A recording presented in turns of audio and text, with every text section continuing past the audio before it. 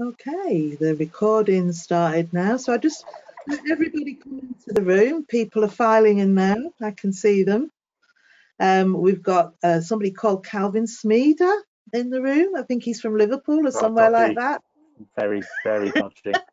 Roger, one thing, if I use American expressions or initials that don't translate, tell me to do it in non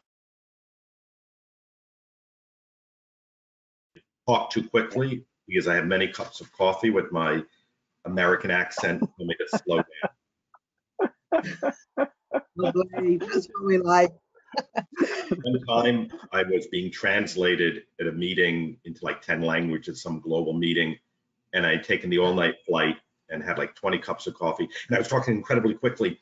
And the translator came, one of the translators came out and kneeled in front of the translation booth and said, please talk slower. Possible. You're translating when you're talking really quick like an American. Trouble if I, if, I, if I break into um, this place where I was born, it's, uh, it's uh, an area called the Black Country, and we have a particular accent there, which I think is the best accent in the whole world, actually. But only only those of us from the Black Country can really understand it is the problem. and um, I have a tendency um, that when I really get going on something, that I'll I'll fall into a load of Black Country as well. Um, so Yeah. um, we'll correct each other if it comes if we need to. We'll do that. When I moved from New York City, just, and I know it's starting in a second. For those who are listening, we're just getting ready. Um, to North Carolina, when I went to work organizing apparel workers, people had no idea what I was saying because I would talk quickly and everybody would say, whoa, what country? are you from? Slow down. Oh gosh, that is Okay. funny. Monica, when you're ready, when you're ready. All right, yeah, shall we shall we kick off? All right, well, just a quick introduction and welcome to everybody. I think people will be dipping in and out. People have got different challenges at home or wherever they're calling in from, um, particularly as far as IT and um, internet access goes, etc. But you're really, really welcome. We're really pleased to have everybody here, and particularly our two guest speakers here today, um, Stephen Lerner and Roger McKenzie. But before we get into that, just a little bit of housekeeping. Um, you can find the controls panel on your, it usually hovers around on the right hand side. Um, so just, just if you need to increase um, the volume, etc., if you can't hear the speakers, just log in and out and try a different format. There's different formats in there. Um, we we are um, there's a number of grey bars with audio and dashboard, etc., and you can minimise your control panel if you want to get a better view of what's happening on the screen. Um, if you're having problems hearing the presenters, you can check and check your speaker settings under the audio button. So have a look at that. Um, if if you have any questions, just get in touch afterwards. We're keeping it straight through because we know how busy people are and we're trying to keep the time down today. So it will be under an hour today, hopefully.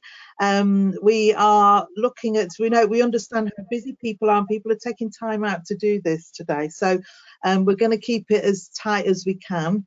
And so before we get involved and get everybody going, I think I've mentioned everything there. Is that, is that everything, guys? I think so. You're happy with that? Yes, yes, it's just nod, that's fine. Um, I'm going to introduce first Roger McKenzie, who is our esteemed Assistant General Secretary here at Unison. So over to you, Roger. That's the first time Monica's ever called me esteemed or anything remotely nice. 'cause- Actually, I think that's what I think that's nice. listening. People listening. uh, thank, thanks, Monica, and um, welcome, Stephen. Um, um, I'll, I'll do a little introduction um, to Stephen. Um, I mean, like I think many people, I've heard um, over the years a lot about the um, the, the famous um, Justice for Janitors campaign, but um, never never met Stephen. Heard heard his um, reputation and stuff, but I, I remember my, my friend and mentor um, is a guy called Bill Lucy, um, and um, Bill um, said to me one time, he said, um, I think when I was going over to the States, you really must um, find a chance to to meet Stephen Lerner. Um, and I think you live around the corner from each other, I think, Yes, as well, don't you, Stephen? Yes, yeah, so so um so i did i did get that opportunity and it was well worth it and we've been talking on and off for a little while now. And stephen i think is one of the most interesting organizers that i've met anywhere and um so the chance for us to be able to have this discussion um i think is kind of long overdue actually um, so I guess the one of the things that we can thank, probably the only thing that we can thank the pandemic for, is an opportunity to have some more of these discussions, really, and just to reflect a little bit um, on some of the challenges that we face as organisers um, and the different ways of being able to meet those challenges, but rather than just being um, kind of reactive kind of organizing, reacting to situations that are in front of us. One of the things that um, I wanted to, to have, well, I was pleased to have this opportunity to talk with Stephen this afternoon, is to start thinking ahead a little bit and just to start thinking about some of the ways that we can be proactive to build what I always talk about, which is a, um, a movement that's going to really make a difference for, for working class people, not just in this country, um, but elsewhere. And so um, can I um, really, you know, from the bottom of my heart, um, welcome you, Stephen. I know you're really, really busy, as people will hear um, shortly some of the campaigns that you're involved in, but I'm really genuinely delighted that um, you've been able to um, join us. I suppose the starting point, Stephen, tell us a little bit about yourself. a little bit about myself. Where to start? You know, it, it, maybe I'll start with how I got involved in in the movement, which, you know, I grew up in New York City. Unions were a fact of life. Lots of family members were union members, but it wasn't like it was central to my thinking. It was just one of the things that people did. Um, and my family originally came to the United States. Um, my grandparents from Poland and Russia. And but I had this experience. I don't know if you've heard of a group called the United Farm Workers Union and Cesar Chavez. Yeah, sure, sure, sure. And the truth is, I sort of stumbled into it, which is I met some folks and they said over the summer, well, why don't you be a volunteer and help us? Because they were on strike and they had launched a boycott of lettuce and grapes. And to make a long story short, I ended up moving in with a family of strikers um, who had moved from California to New York to launch a boycott of the stuff they were on strike. And all I can do is say, I really do, and I was, I think, 16 at the time, is I fell in love. I fell in love with the idea that workers could take on the most powerful corporations, in this case, agribusiness in the world, and not just fight for justice broadly, but transform their own lives and go from being dismissed as just a, as a farm worker to leading giant movements. And this is not something I talk about a lot, but um, I fell in love with the movement and I dropped out of high school and became an organizer because it just felt like there was nothing more important to do than work with people who wanted to transform their lives and transform our country. I, I, th- I think I think that's one of the things that we've been talking about um, a lot here amongst our organisers is that um, we, we get small wins every now and again. Um, there's a lot of setbacks, obviously, but we get small wins.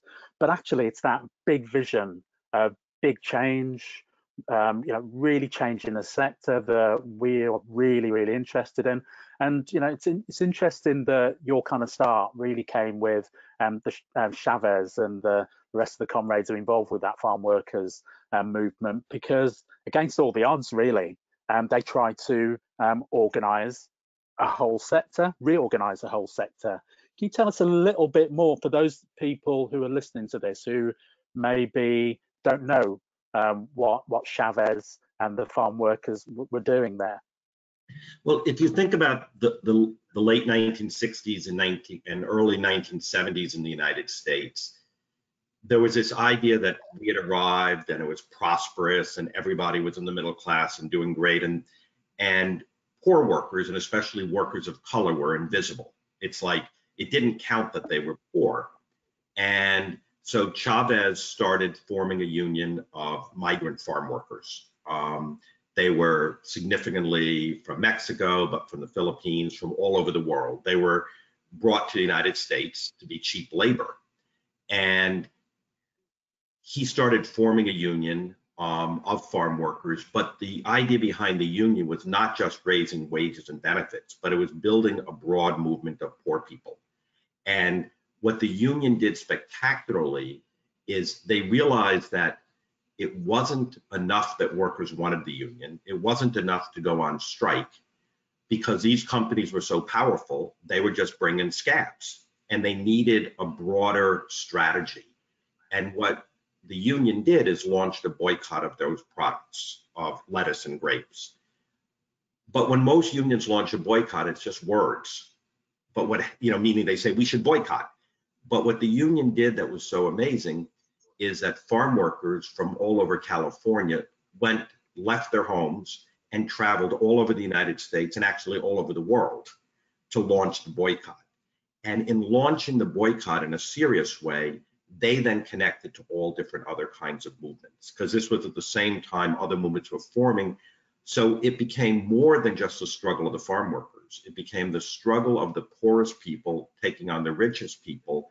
And it really captured the imagination of the entire country. So I, one way to look at it is they did the nitty gritty work you have to do as an organizer. They built their committees. They had picket captains. They knew where every worker was for or against the union. They went to people's homes. So they did the nitty gritty that you have to do. It wasn't like they announced one day, let's have a strike. They spent years quietly organizing. But then when they had the big strike, they said are only that the strike is one tool, but building massive public support is the other tool. And you, this was also at a moment where, um, where especially where both in the African American community and the Latino community, there were big movements and to demand justice and to fight racism and anti-immigrant feelings. So the union captured all of that at once and became the symbol of the rising of the poorest to demand decent treatment. So, so within that, I mean, I mean, you, have mentioned the African American community and the and the, um, the, the Mexican community. I mean, was were there good links between those communities um, in this fight, or were they quite separate? Well, they, I think they were parallel in the sense that this was happening at the same time. Farm work, um, and in some places like Florida, where the workforce was Jamaican and had significant numbers of black workers. It was connected. In in other places, the employers purposely hired by racial category um, as a way to divide people. So I'd say they were connected as part of the broader movement, and also because Cesar Chavez, the president of the union, was a big believer in nonviolence, and so using nonviolent civil disobedience, he went on multiple hunger strikes and at the same time that other movements were also like Dr. King was talking about nonviolence as a tool. So, but I would say they were they were not deeply intertwined, but they were part of something that was broadly happening. Mean, it's quite again an, an interesting perspective there in terms of um, the way that employers hired by um, by nationality, by ethnic origin, or whatever. Um, similar thing happened in the UK. Um, so as um, as the colonies, the British colonies, started to um, to break up, um, and more people were being hired into this country to do the jobs that you know the, the kind of English community, the, the white community didn't want to do. What was what was happening there was that so you look at South Asians working in the textile industry in in specific parts of the UK um, because you know kind of racist tropes like well Asians are more nimble with their fingers so that they can do that kind of work. And, and they were very explicit about that sort of stuff. And, and, and then um, people of Caribbean descent were bigger and all of this sort of stuff. So therefore they should do work on the railways. Um, so people were being particularly hired for um, so-called ethnic traits. Um, and so employers all over the world do this, and I, I think that's a, an interesting thing. I suppose the, the key thing is the, the organising response um, to that and and trying to make sure that um, we're not allowed to be divided against each other either geographically or within workplaces because again where I come from in the black country um, you know good mix of Asian and Caribbean communities but still doing very very different jobs during the 1950s 1960s um, so foundry work predominantly for Asian workers um, the railways um, and bus driving um, predominantly for um, the Caribbean community um, and really not that much of a mix in those workplaces, but actually quite a strong effort to divide workers by the employer. And it has to be said in those times during the 60s and 70s by a number of people within the trade union movement as well. But we'll come on to some of that hopefully um, kind of later on about the role um, of trade unions um, as well. So what is it you actually did with the farm workers then? Because I mean, you know, you're coming out of New York and you're, you know, you're kind of coming out onto. Yeah, I worked on what we called the boycott, which is we Right. went, we organized people not to buy lettuce and grapes. So we formed committees in different cities, and then we would pick at grocery stores um, and say, "Don't buy lettuce and grapes." I could still do the chants for you and sing the song. Um, so I worked first as a um, on the boycott and spent a little bit of time in California. Um, and from there, um, I ended up um, after the farm work was doing a series of regular jobs. I worked as a housekeeper at Long Island Jewish Hospital. I worked in a nursing home. I ended up, if um, I don't know if anybody, I used to make in Rhode Island the earring cards. You know, the little plastic thing that when you buy earrings are hanging on. I was an extrusion machine operator doing that Oh, but um, actually it was a it, the the joke there was you'd say this is a little sick American humor, but it was a um, is you'd say to the old guys, "What's the retirement plan?" And they'd hold up their hands, and almost everybody was missing digits because we were threading the plastic through these automatic cutters. And in in Rhode Island, you got more money the more the finger was cut off. You know, you got like a thousand dollars for the first digit.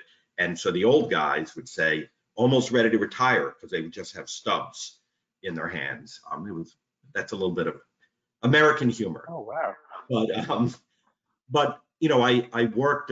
I got married very young. I had kids very young. That's all another story. But um, but I ended up. I was from those jobs. I wanted to be a union organizer, and ultimately got hired by a union that no longer exists, the International Ladies Garment Workers Union which was actually the union that my family, when they came to the United States, joined because they were, when you were talking about sort of people go to certain jobs, Jews from Eastern Europe became garment workers. That's what you did when you came to New York. Um, and then I moved to the Southern United States, which is the most anti-union part, and organized in all sorts of rural communities, garment workers, and um, worked on many long and um, vicious and incredibly violent strikes um, in the southern United States for many years. So, so fast forward a little bit. How did you um, end up at the SEIU, the Service It- Employees International Union, for people who don't know?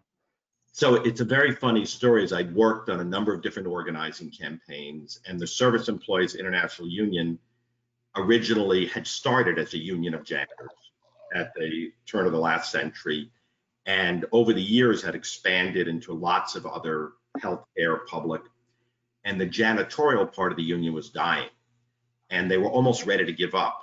And so since they were ready to give up, they couldn't figure out how to deal with the subcontractors and part-time work and no benefits. And so they hired me and some other crazy young people um, to start organizing janitors. And really what was fascinating was the reason we were allowed to do it is because they were ready to give up. They were saying it was impossible. And the starting of Justice for Janitors was people saying it's impossible to organize what we call undocumented workers, people without papers. It's impossible to organize them, et cetera, et cetera. So they said, do what you can do. And without restrictions, we started the Justice for Janitors campaign. And it really built on the idea of the Farm Workers Union. which is that you're both organizing workers, but you're organizing the public, and then you have a deep analysis of who really has power, and that you have to do all those things at once. And it's actually a funny story. We started in a place called Denver, Colorado, and very quickly organized a thousand workers, which was an enormous breakthrough at that time. And the thing about it was we were successful partly because we didn't know what we were doing. Uh, because if we had obeyed all the rules, we would have lost. And so I remember this moment. We have something called the National Labor Relations Board, which is our labor court. And I didn't even understand what the law was. So we were in violation of many laws. I won't um, about how you're supposed to conduct yourself. And I'll never forget the government agent saying to me, You're not making this up. You really don't know what you're doing is illegal. And I said, No, I don't know that. I just am organizing workers. But Denver became the activator of the campaign. And uh, it was like the experiment, and a couple interesting things happened there. One, it was one of the first campaigns in the United States where we said, We are organizing workers whether or not they're legally here and we were very public that if an employer hires you, you have the right to have a union and we're going to organize you because much of the US labor movement was opposed to immigration. And early in the campaign, our entire organizing committee was arrested and deported. Um, I mean, those are the kinds of obstacles we face. And so we started experimenting with all different tactics. One of the earliest things we did, um, I think the statute of limitation is up, so I can talk about this, is we were organizing the cleaners at the airport. And so we got a lot of people in cars with no union insignia, and their cars broke down and drove slowly all around the airport, shutting down the airport. and nobody didn't say we were doing it. Um, and so all the news report, massive traffic jams at the airport. And what was fascinating about it is the bosses knew it was us workers were so excited because janitors are the invisible people that come in at night. And all of a sudden, all the news was, why is the airport shut down? And so what we tried to do was in addition to the good organizing, meaning we mapped every building, we knew every worker, what shift, is that we then made the campaign larger than life. We ended up, this is a this very funny story. We had done this thing where we delivered over Christmas in Santa Claus suits. Um, we delivered coal to some of the biggest um, building owners. You know, we went in, and the, and then and then Santa Claus got arrested. Um, uh, wearing a Justice Janitor shirt or something. And not only was it huge news, but what was so fun about it is the police chiefs union, not the union, the police chiefs association had a calendar, and we became December. Was a cop with this funny look on his face, like I can't believe I have to do this, arresting the justice for janitors. Um, Santa Claus. So, so what I'm getting to is from the very beginning, the campaign was not just join the union and get a little bit more money. The campaign was we are here in this country, we're invisible, we're exploited, we're treating, we are now in the public. And it was, we fought in a way that not only put pressure on the building owners, but it also gave workers a sense that I am liberating myself from my conditions. So, so that that liberation, um, I mean, I mean, what what what did that look like in in, in practice in terms of what what what what what was actually achieved um, by the Justice for Janitors campaign? Well, if you if you well, let me go back one one thing, and the key thing about the Justice for Janitors campaign is we said we may be played but paid by the cleaning contractor.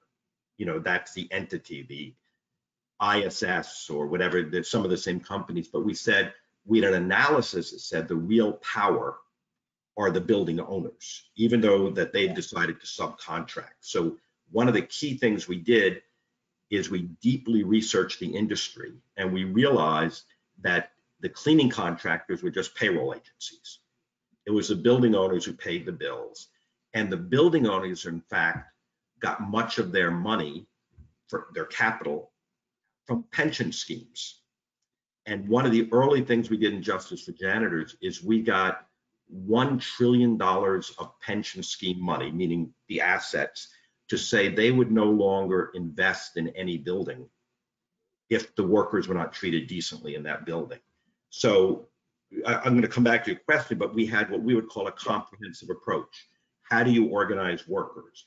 Then how do you organize a community? We always had community organizers and union organizers. Then how do we impact capital at every level?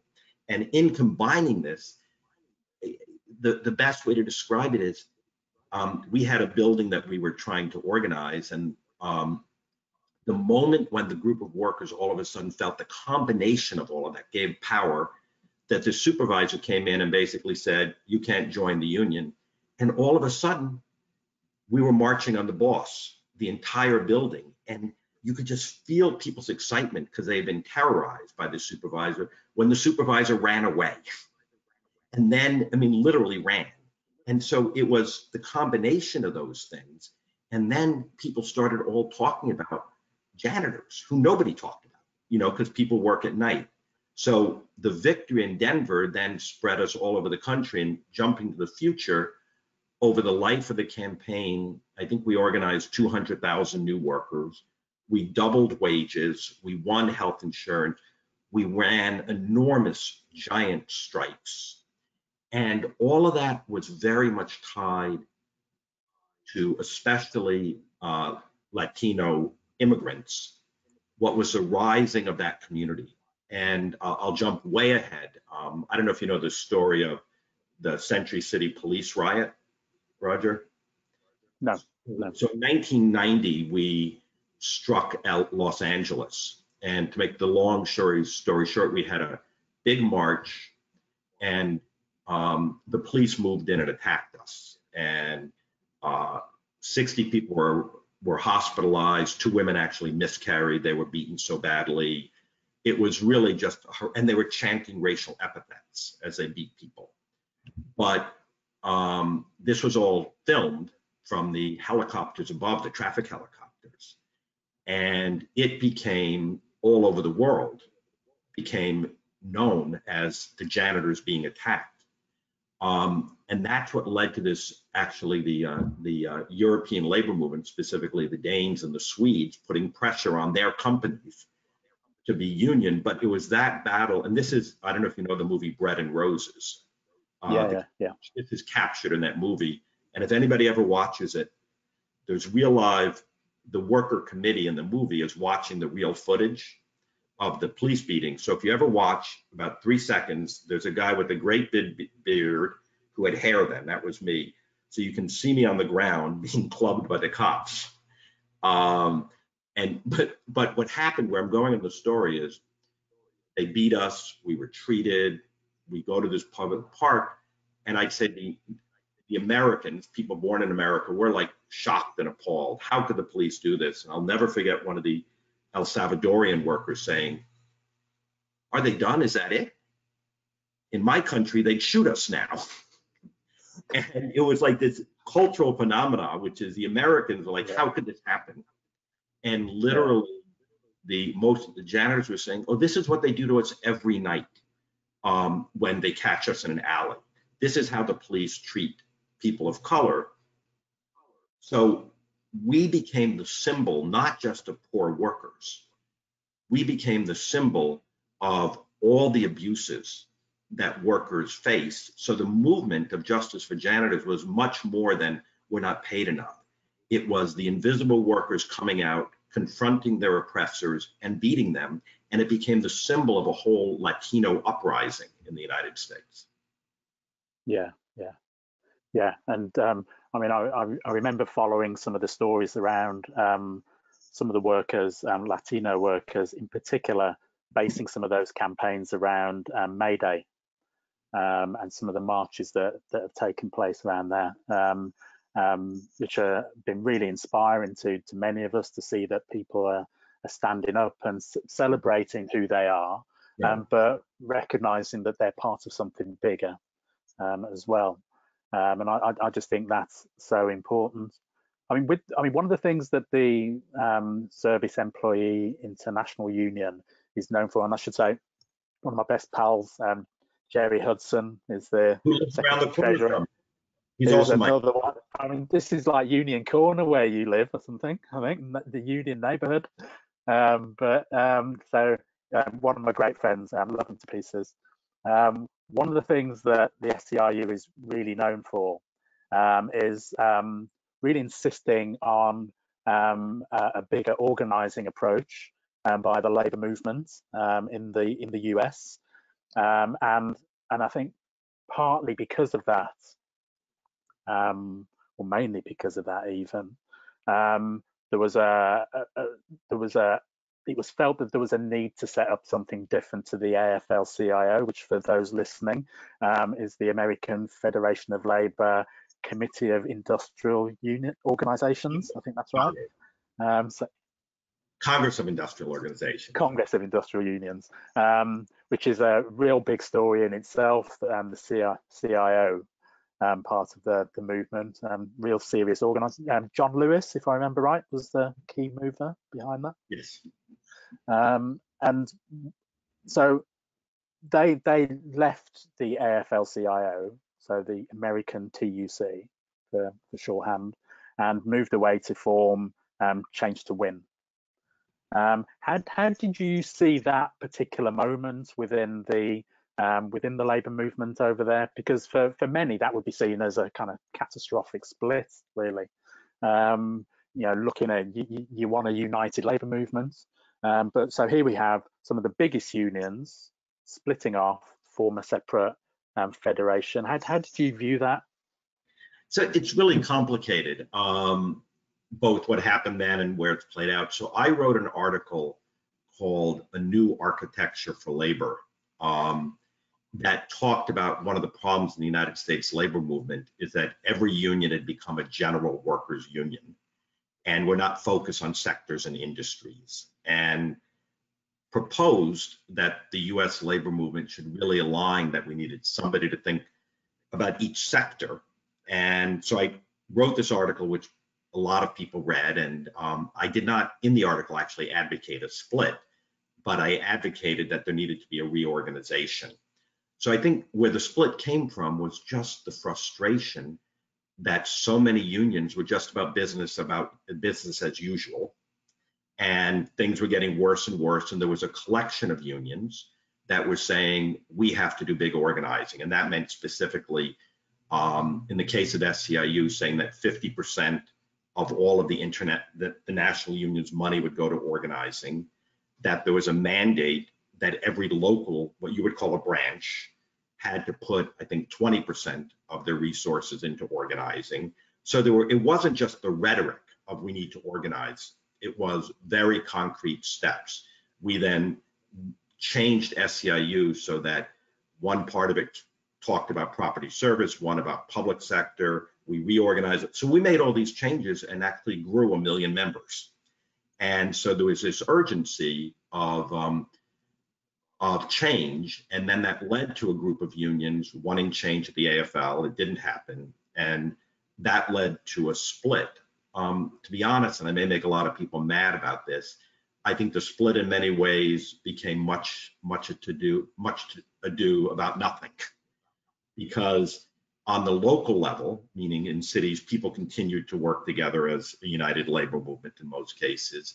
And change to win, I think, has become more an organizing hub. It's not really, you know, some unions left and went back to the AFL, some unions stayed in. So I don't think it met the ambition, which was to become the new Congress of Industrial Organizations. Um, so when I look back,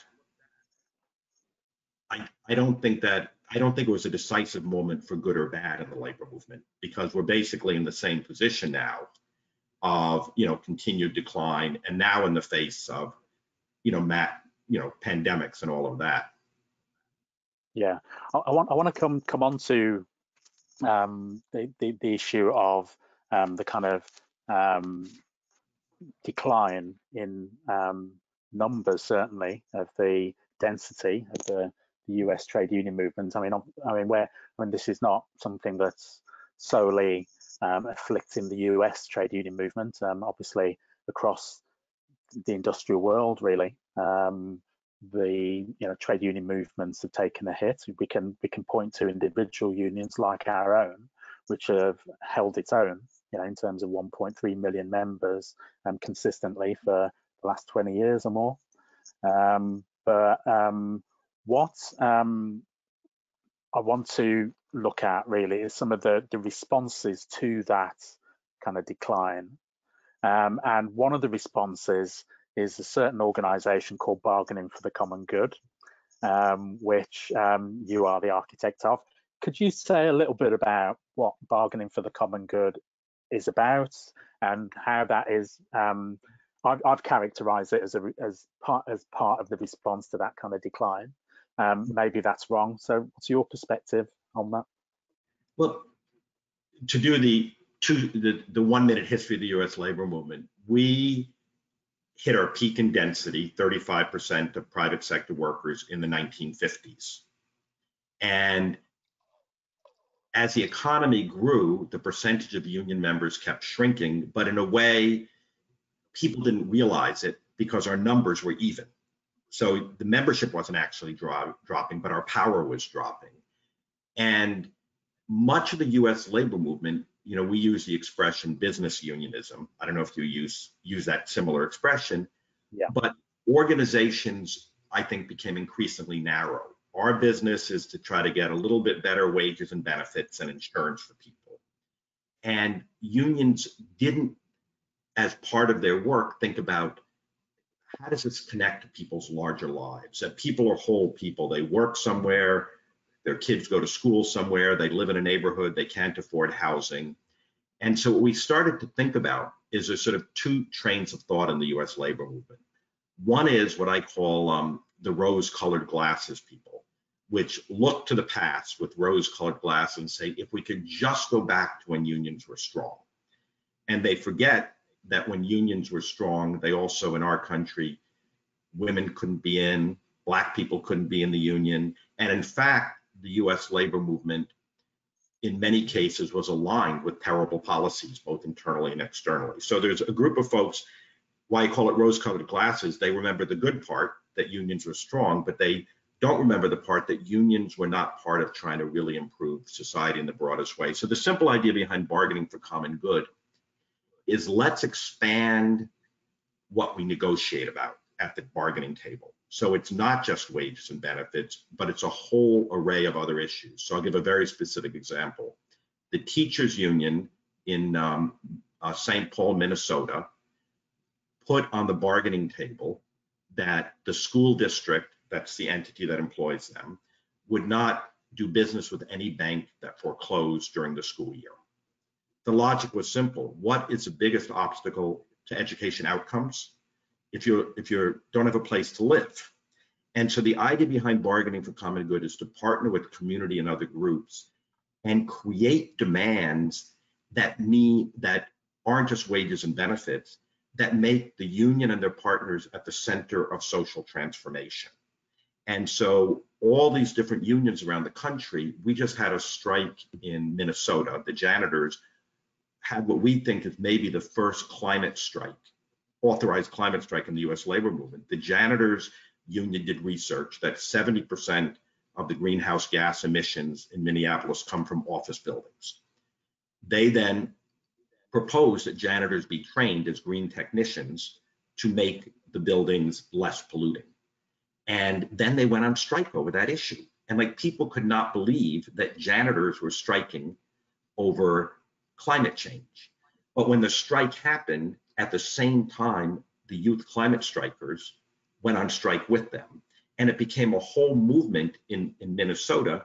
But the most powerful part of this was that the workers who are mainly immigrants um, talked about they were in the United States because they were climate refugees the Guatemalan said that I had to leave my farm because the environment's changed so much that I could no longer be a farmer. So the idea behind bargaining for common good is let's look at all the things in people's lives and let's unite labor, community, and other people and bargain and have fights about that. The most recent one, the Chicago Teachers Union, went on strike. I don't know if this got press in your country, 25,000 people.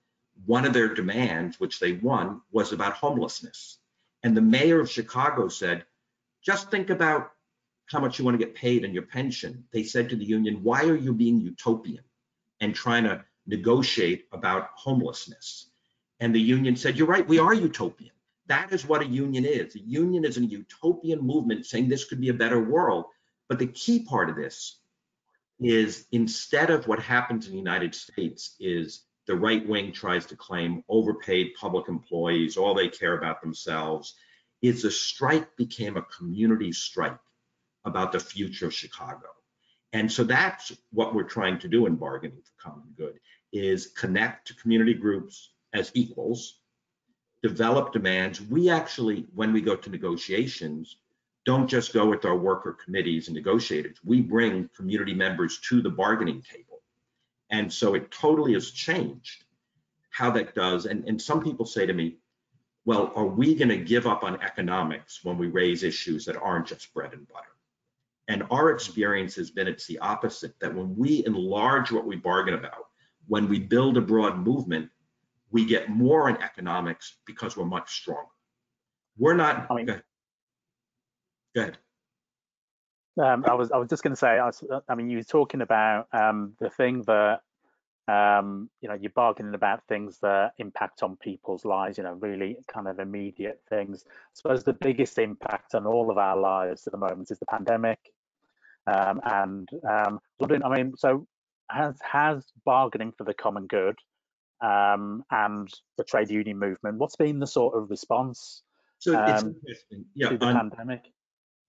The, the bargaining for common good network in key cities, especially some of the teachers unions, but not exclusively, were leaders in a whole set of broad demands from closing the public schools, but we then turned the public schools into feeding, but they didn't just say close the schools for safety.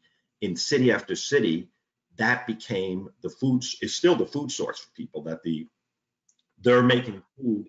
And literally in some cities the bus drivers are now delivering food to the neighborhoods where students who were eligible for food lunch did. So very early on we've had a whole series of demands and action both about our workplaces but also about conditions in jails where covid is just going rampant so the question, so we've raised all these issues and taken action on them. I'll give you an example of some of the stuff we are doing. Um, there's a very rich place in the United States called Greenwich, Connecticut. I think we've identified in that area that there's 15 billionaires worth a combined total of 80 billion dollars. So they're doing okay.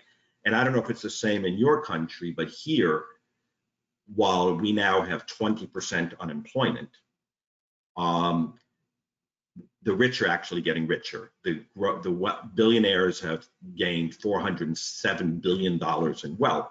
So what we did yesterday is we had a car caravan. We call them nursing home workers. I think you would call them social um, social care workers who have been, I think 12 members of this branch have died. I think 15 members of their family have died.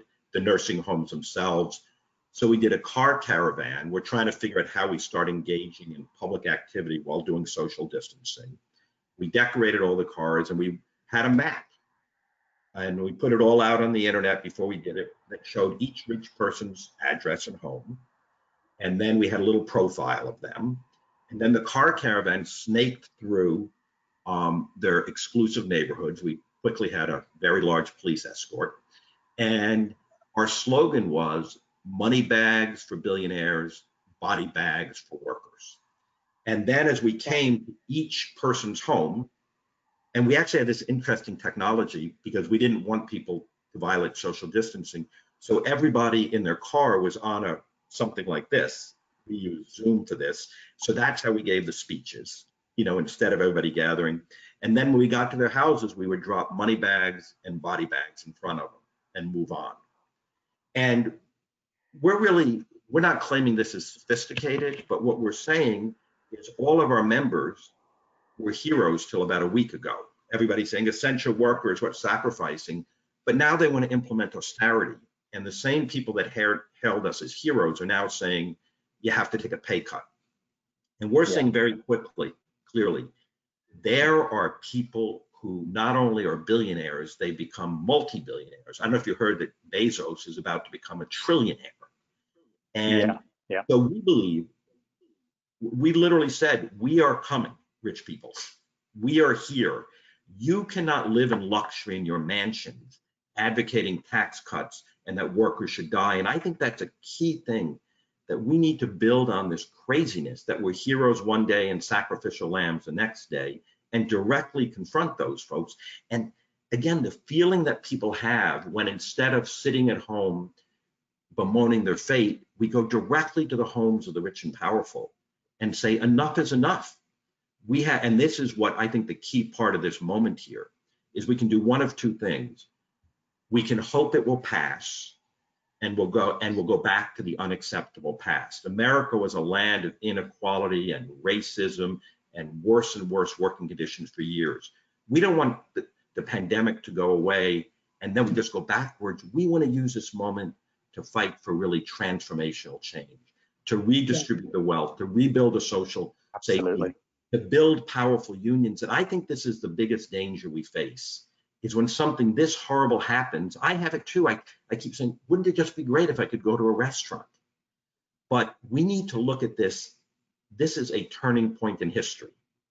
And if we don't seize it, I really think that we're on a razor's edge. And we are either going to transform society and make it one much better, or we really are, in our country at least, heading into like almost a, a form of feudalism, where a yeah. handful of super rich people run everything. And so that's the challenge. I, I couldn't agree with you more. I, I think that um, where, where I, I, was in a meeting the other day, uh, one of these sorts of meetings, and um, um, I made some remarks, and the person who was kind of moderating the discussion um, said, "Oh, and to to move on to, um, you know, I want to talk about something a little bit more positive than, you know, the fact that, um, you know, because I was talking about all the um, the the way out of all proportion black people are being uh, affected by this um, by this virus and so on, and how people, in my view, are being put in harm's way, all of this sort of stuff. And I'm talking about all these things. Um, and I had to pull it back and say, actually, um, it's probably my fault for not being really clear. I'm an organizer, and I think that this is a time for organizers now. Um, and I think that that's probably a weird thing to say when we can't go outdoors. Um, but actually, there's a lot we can do still indoors. And one of the things we can do is get ready for going out um, outdoors, but also we can do some of the things that you were talking about in your example too. Um, I, I, I, think you're absolutely right. This is a, a moment where we have to say that what what was going on before wasn't good enough. Um, and we and we spent years and years saying it wasn't good. So why would we say we want to go back to what wasn't good? That doesn't make sense to me. But let's do this thing of talking about that better society, that better world for working people that understand, as you're saying, I think, that these things won't happen if we just waiting for somebody to do this for us. It'll happen if we take the initiative and make it happen.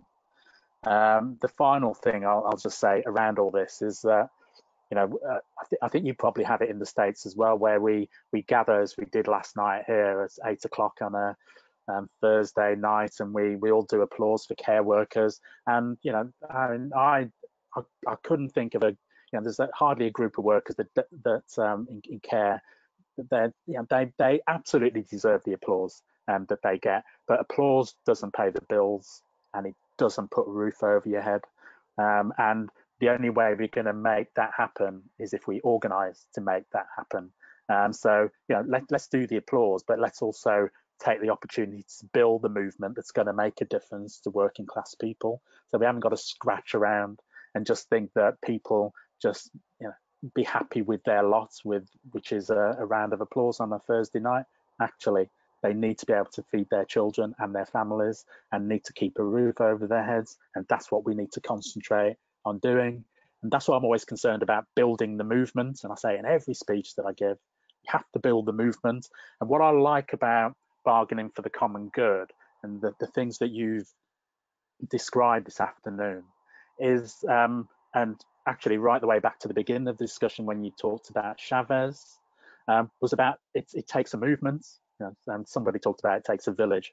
Actually, it takes a movement to make a difference, and that's what we have to concentrate, I think, um, on on doing. So, um, I mean, we're moving towards. I think um, I think Monica was giving me the evil eye and telling me that we're moving towards the the end of our kind of time a little bit. Um, and I'm, I'm never I make it a point of personal um, survival, actually, never to um, argue with um, with with Monica. Um, but may, may, maybe maybe two two final things just to to move towards the conclusion. And so looking ahead, um, you know, we've got all of these challenges facing us. Um, we've got um, the middle of this pandemic where we think it's the middle, might be the start, might be the, I mean, who knows where we are with this. But what I think, um, you know, we were chatting before this recording started, what I think is um, almost inevitable um, is um, a period of austerity that we're going into. Um, how, how do you view that as a, a challenge for organisers? And presumably, I would imagine bargaining for the common good has started to think through some of those issues and how we might be able to challenge some of those things. Um, have, you, have you got any thoughts on that? So yes, the, the key thing here is if you accept the logic of austerity, you've already lost. Which is if you say, oh, well, we spent all this money, so which some people say, the, the Chicago Teachers Union have a great expression, which is they call it broke on purpose, which is that you lower taxes, you give subsidies to the rich, and then when there's no money, the bosses say to us, well, there is no money, you have to be rational, you know, and so you should take cuts. So I think a big part of bargaining for common good, and I'll describe, is saying that there actually is plenty of money. And we are not going to fall into the trap of negotiating does one union take bigger cuts than the other because we're just dividing the pie? We need to increase the size of the pie. And we need to talk not just, we need to talk about wages and benefits, but all the conditions in society that lead to people having decent lives. So the direct, and so like we are gearing up for big strikes. We have act just, you know, we are mapping um, every union contract. This is the next stage of bargaining for common good. and maybe a way to wrap up because Monica looks so nervous about the time. But anyway, I'm just is that we started to do is the most collective bargaining in the United States are site specific. It's not like we have sectoral bargaining. So we have put together an interactive map that has the expirations over the next year and a half for 5 million US workers whose contract is expiring. We're then going to overlay on that map big organizing campaigns, and then we're going to further overlay on that the fights to raise revenue by taxing the rich, because we do that geographically by state. And what we're hoping to do is then create broad bargaining demands that multiple unions will all adopt with community partners and start synchronizing the natural expiration of, of contracts so that people are negotiating together. It doesn't matter if it's the same table or the same employer. And we're going to identify hotspots all over the United States where there's a critical mass of contract expirations, organizing, and revenue fights. And we are hopeful in the next, and we're building for big strikes. We're building for big battles to directly take on the super rich and the billionaires and the corporations and we're saying we don't accept the logic of austerity. There is no need for austerity. We just gave $4 trillion to the corporate class in the United States. And so that to me is the next step is consciously building around workplace and broader societal demand, and then synchronizing and aligning our work with community and other groups to build towards the kind of giant battles that built the labor movement. And just one thing that you said earlier on about movement building, is social scientists have actually mapped that unions do not grow incrementally. They grow in bursts at key moments when they're deeply connected to broader social movements. That's what happened in the 1930s. That's what happened. So we are trying to build a social movement for economic and racial justice and social justice, of which unions are a key element, but other people are involved. And we think we have to both go back to our roots in terms of militancy, but then look to the future about the kind of society that we want to create. And we think bargaining for common good is a critical way to do that. I mean, I mean that's fantastic. Um, and I think I think at some point in the future we're going to have to call you back onto one of these and have, have another chat about how how you're getting on um, with that. So the final final question before Monica throws the switch um, is um, I asked you before, and just to I'm, a big book bookie basically. I like I like books. I've got loads of books everywhere, and obviously um, as an organizer, I want to um, be able to to read about organizing and some of the things that um, that we've done as a movement. Have you got any recommendations? So a book, I haven't read it in years, so I say this with some trepidation because it, it was so influential, but there's a book called Poor People's Movements by Frances oh, yeah, got It. Yeah, yeah, I've got and it. That book was one of the most influential books when I was coming up as an organizer because it captured this one, the idea of movements, but then the other thing it talked about was disruption yeah. that if we are not disrupting the status quo, this does not happen through being polite. And it's a it was a brilliant book then, and it really influenced. Everybody should read it. And then what I'll lead you with just the funny part of the story. Frances Fox Piven, who wrote it, the right wing just hates her. I mean, she's 88 now, and the right wing during the end, um, right at the other recession, started attacking her as the giant conspiracy theater. You know, they were going after her. So I ended up being in a meeting with her, and we were taped um, by some right wing stooge. And then um, they, because I was with Frances Fox, Frances Fox Piven, this is how important the book is. I was titled by the right wing um, an economic terrorist, the most dangerous man in, in America, more dangerous than Osama bin Laden because I was tape saying exactly what we're saying now that we need to build a movement and rich people will change because we confront them and et cetera, et cetera. So Poor People's Movement, a fantastic book. Excellent. I've, I've, I've, I've read it before and I think it's wonderful. Stephen, thank you so much for all your time. Um, really appreciate that. Um, thank you, but we'll certainly have you back at some point um, to Definitely. continue definitely. Thank you so much. We didn't need to worry about the time. I just just i did look like i wasn't listening but there's been different things have been happening offline while you guys have been talking. And there's somebody who's who's listening who's from somewhere called the great nation of wales. I don't i don't know who that is but he's asked lots of questions. He missed the beginning where we said don't ask questions, and he kept asking questions. We'll get back to you, Mark, with those answers. I'm sure Roger will enjoy answering all of those questions that you left. And Ray Burns, I think he's from John Moore University in Liverpool. He said, "Don't yeah, stop, guy. just enjoying it so much." So we're getting really positive feedback. There's just growing. The numbers have gone up and we can see I can see on the dashboard here um, people's attentiveness if people are doing their emails while they're listening. But it's been in the 90s. The attentiveness has been in the 90s, which is unprecedented. So well, people are really interested to hear, which is fantastic. I just want to say something while people are still listening. I'm going to send you. So I'm going to send you. There's an organizing magazine in the United States called The Forge, and we just did a special edition on bargaining for common good that has 14 articles from all different perspectives and including two webinars with um, a fantastic one from Chicago with the teachers union. So I'm going to send that to you, Roger and Monica, and you can share it with people because it has okay. incredible detail about all of this stuff. Excellent. Um, ah, that, that, that, was a joy. That was a true joy. Thank you, Stephen. Yeah. And um, what I say, stay safe, stay well, all the best to your family, and we'll be in touch again soon. You take care. Say hi to all my neighbors that are your friends. Yeah, absolutely. Take care. Union Corner. All right. Take care, everybody. Excellent. Thank Cheers. you so much, everyone. Thank you, everybody who's attended. Um, we've never had so many people on an organising webinar before. It's brilliant, absolutely brilliant. And um, there'll be more coming up, as Roger said earlier. Um, just watch this space. Look out on social media, etc we'll have more of these and we're going to ask Stephen back again as well. So thank you very much. Thank you guys. Take care. I'm going to switch off now.